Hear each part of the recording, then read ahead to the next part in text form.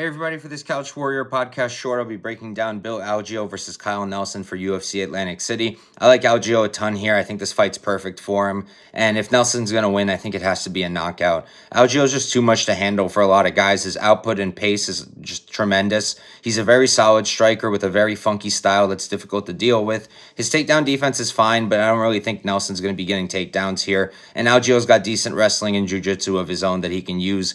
And I just think he's going to tire out Nelson, beat him up with volume, beat him up at range, and be able to win this fight either by finish late or by winning the decision. I just think this is a tough matchup for Nelson, so give me Algeo.